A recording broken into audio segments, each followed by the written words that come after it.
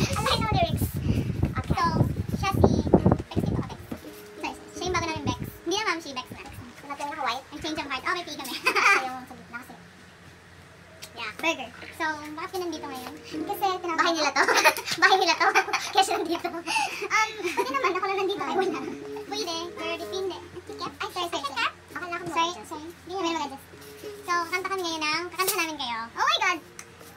So, My extra Plan.